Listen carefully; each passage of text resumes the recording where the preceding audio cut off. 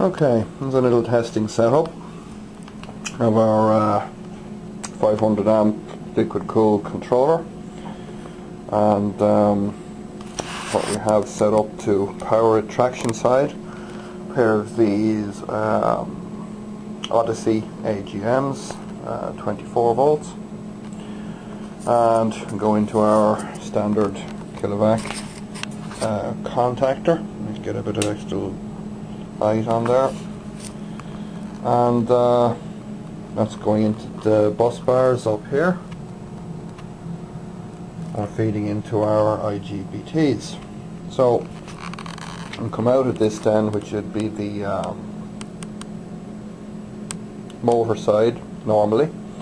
But instead of that uh, we're feeding into this inductor bank here. And uh, this is a very good idea by a a gentleman on the uh, DIY EV forum, uh, and it solves a lot of the problems about having to uh, about having to have uh, a dyno set up for a, a traction motor, all that sort of thing. So this is basically a three-phase uh, filter out of a computer power supply.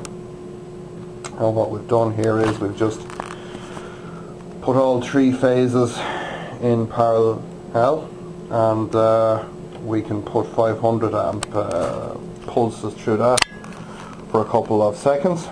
And um, it's about 450 microhenries uh, so it's close enough uh, to what we actually uh, should have to simulate a motor in a stalled state.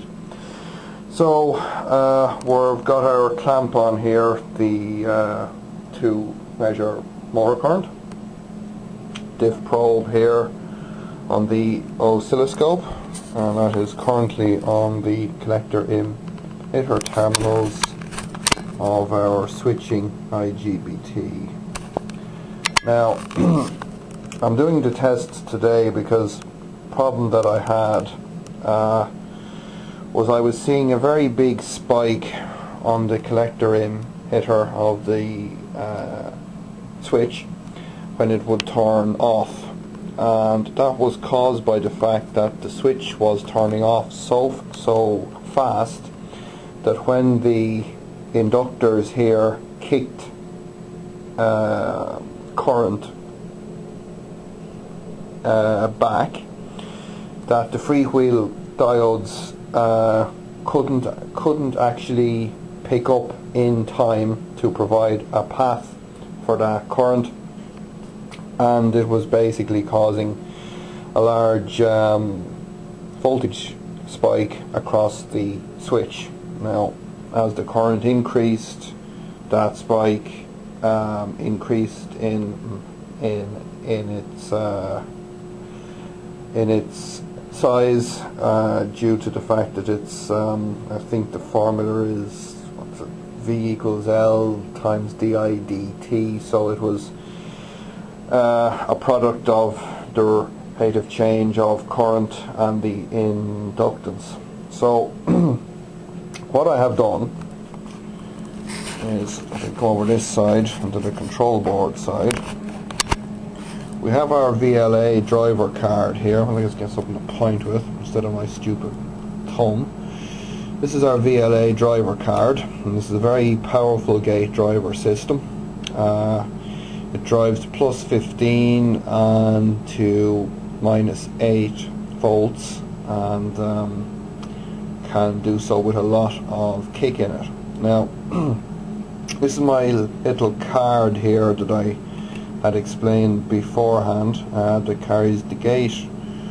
Resistors and the emitter resistors and uh, these are 3R3 and these guys are OR 33 parts.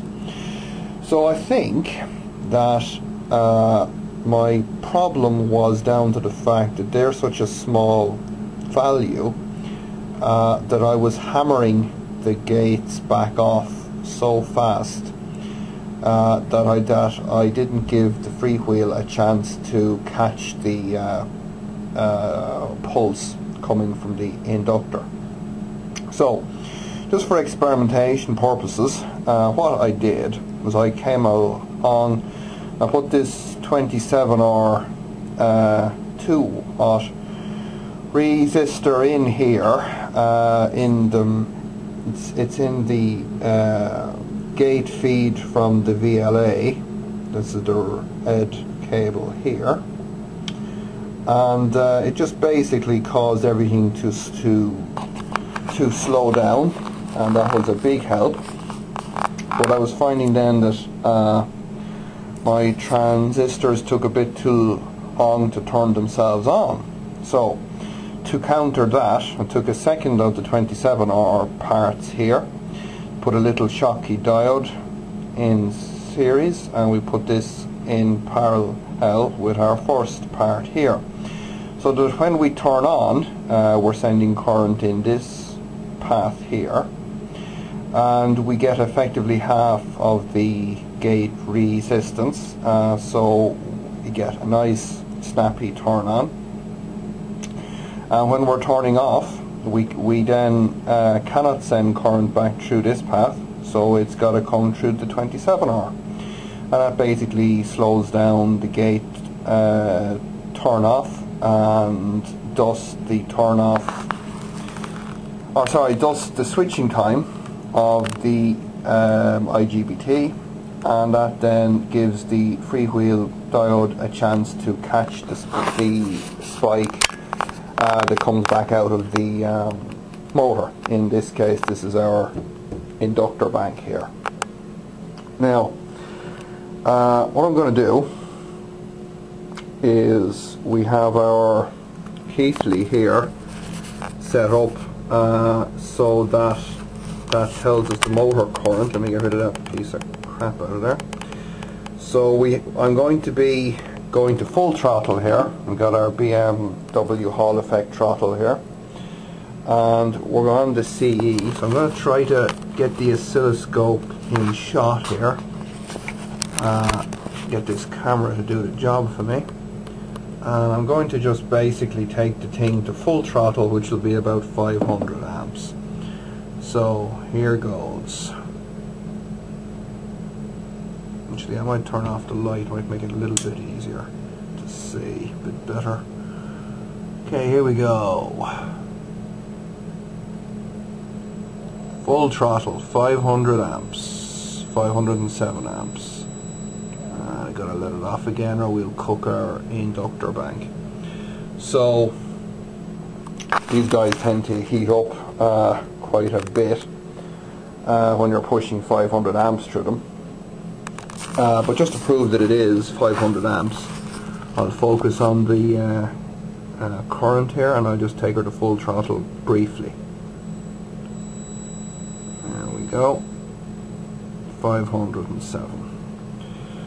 Uh, this is on a voltage scale here by the way because the uh, my old style uh, DC current clamp basically puts out I think it's um, millivolt per per amp. So half a volt as you could see there uh, gives us basically 500 amps. So what I'll do now uh, is I will change uh, my scope so that it's on the gate emitter of this IGBT here. I'll do another quick pulse up to 500 amps just to show that. Okay so we're back and we're on the gate emitter terminal of number 4 IGBT and uh, see if we can get focused in on the scope again. And I'm going to just take us briefly to 500 amps here. So here we go throttle coming on now. Wait till she sinks there we go and full throttle 500 amps. And back off to zero so again just on the DMM just to prove the point 500 amps so that is uh, the little modification there. Now, thing that I'm not sure about is whether I should change all of the individual gate resistors here uh, or should I just keep this keep this kind of a, setup going on? Um, here so any advice would be appreciated on that front. And um, I'm going to do a few more experiments a couple of different sizes here see what the hell happens. And uh, but so far so good. Uh, we seem to be getting um, even thermal spread on the um, heatsink and even though we don't have any coolant flow here and that we're pushing pretty much full current through it uh, it's not causing any thermal issues at the minute. Now admittedly that's only at 24 volts um, now we'll be at a nominal 100 and what's 152 volts in the car so I might see if I can get I think if I can get my hands on a 72 volt forklift charger to uh,